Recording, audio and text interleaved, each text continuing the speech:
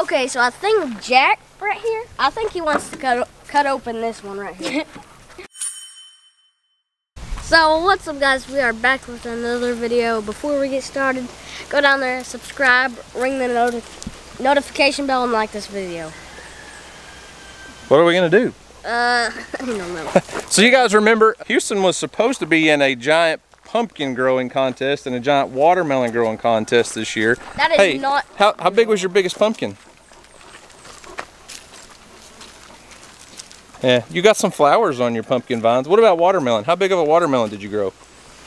Got that. How much did it weigh though? Like 280 something. 280. I mean, I think 28. 28 pounds was your biggest watermelon. yeah. So we're probably not going to be winning any contests this year unless we can figure out a way to, hey, you think we could buy one of these over here? Yeah. Yeah. And we could enter it into Leon's contest, right? Yeah. Uh, no. So we've got a guest here who just left Leon's, oh, Gardening with Leon in, in Kingston to show Leon these giant pieces of produce that he grew. You guys may recognize Jack. So Jack from Grow Jack Outdoors is here with his little small pumpkins he grew. Yeah. Did you did you grow these or did you buy them? I grew them. Really? Yep, I grew them. So I, I saw on a video the other day. If you guys don't know Jack, you can check him out on, on YouTube at Grow Jack Outdoors. I, I mean, he's pretty good at promoting himself and his name here. I mean, you're doing a good job with Yeah. that, man. Everywhere you go. So this trailer has been all over the state, hasn't it? Yeah, we took it to Tulsa last weekend, and then now we're here at Sulphur, and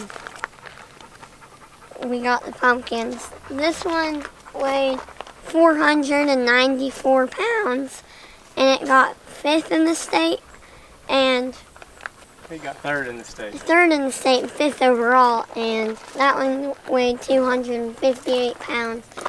It got This one got the Howard Dill Award for being the prettiest pumpkin at the weigh off. Wow.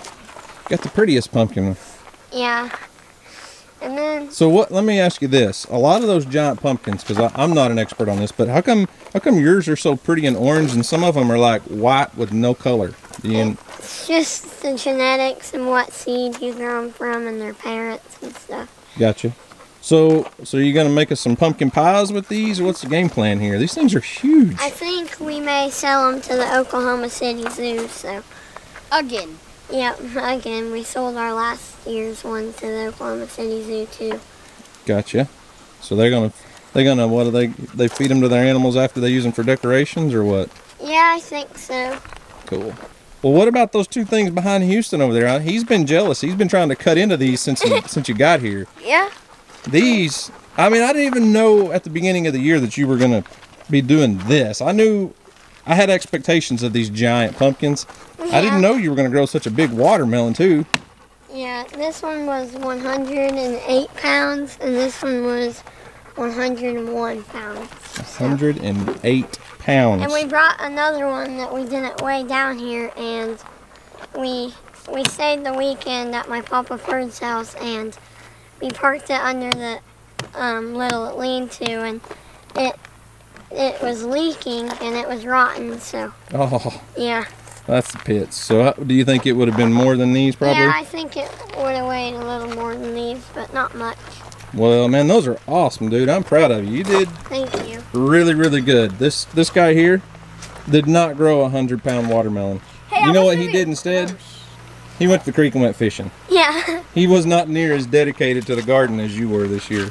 Those are so cool, man. That that just that just goes to prove that I mean, hard work and dedication pays off because Yeah. you're fixing to sell those to the Oklahoma City Zoo for quite a bit of money, right? yeah. That's awesome. So next year, what's your game plan? What's your plan? What are your goals for next year? Do you know yet? Try to get the state record next year. State record for pumpkins or watermelons? Pumpkins. Yeah. What is the state record?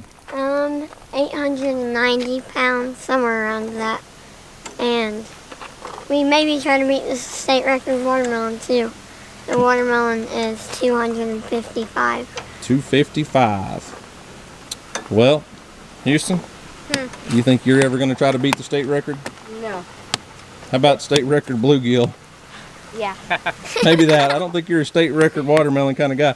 Houston loves growing watermelons, but he's kind of like a set it and forget it. He wants to plant his seeds. We go down there, water them, and then when we harvest them, he's excited because he wants to eat them. Yeah. He likes to eat the he likes to eat his watermelons, huh? Uh-huh. I'm surprised Houston hadn't tried to sneak out here with a knife and cut into one of those yet. Wish. Okay, so I think Jack right here. I think he wants to cut cut open this one right here. You seriously? I, hey, he said, could we go ahead and open this?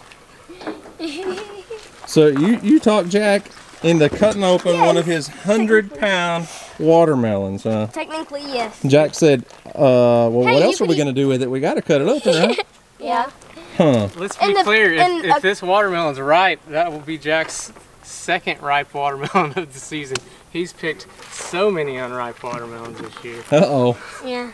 I'm not very good at picking. So we don't even know if it's any good, huh? we just picked it. Houston, do you think a hundred pound watermelon's gonna taste any good? Yeah. Yeah. Hey, you know what you could use instead of a knife? A big machete. Tanner. Well, you just about need a machete to cut into that one. On a I'm not afraid? So who's gonna cut into this thing, Jack? Houston, if he wants to. You sure about this? I don't really trust myself. I don't know if I trust you. All Where right, do I do listen. it? Where do You're I gonna do it? take the knife and just go straight in like that, okay? Oh, it's so thick. The layer is so thick. You think it's right? I can't believe Jack's letting you cut into his watermelon like that. We should have brought a machete out here. Yeah. Here, here. here, I'll here, go get mine. No, we don't. We're not gonna use a machete. Tanner, right? Oh, yeah. Yeah. Is it red? Yeah, it's completely red. Oh, it's red. Oh, there's a It's very Just red. cut like butter. Holy cow. Oh, wow. it had some Well, air pockets. It could have been heavier. it could have been a lot heavier. The the whole watermelon's hollow. Yeah. Let's just smells go get a um smells a little overripe, fellas. Yeah. It's a little soggy. That was a little uh disappointing. Yeah. I don't know. Anybody gonna taste it? I don't know. I don't know that I want to. You try it. the bottom Jack. the bottom down here it has me a little concerned. It's not Yeah, it's, it smells. it does not smell like a good tasting watermelon, does it? Hey, oh well, it was over a hundred pounds. The competition was to see who could grow the biggest watermelon, not the tastiest one, huh? yeah. Yeah, you're lucky. I'm coming. Hey, you gotta come taste this watermelon. Okay. It's over there on the ground. Oh, We, it was too heavy for the trailer, so we moved it to the ground. good. We, we were all kind of holding off tasting it. We thought maybe you'd want to taste it first. Are you not going to get a bite? Good. Mm. Isn't it, Dad? It's just it looks like that because of the variety it is. It's it's not it's not rotten. It's not. Hey, look at the watermelon compared to your dog, Emily. Oh. Your dog could use that watermelon for a doghouse. Yeah. She's like, scared nope, of it. I'm out of here.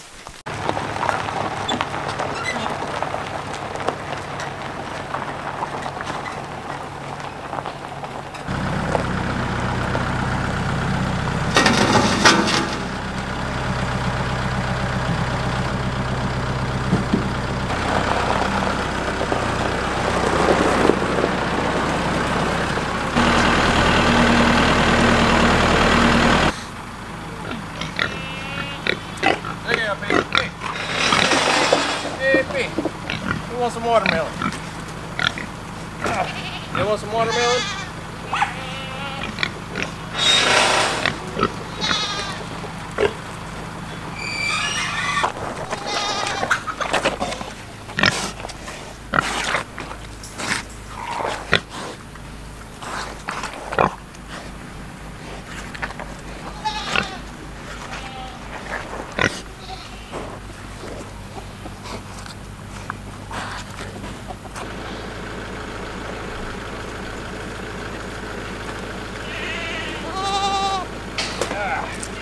Watermelon?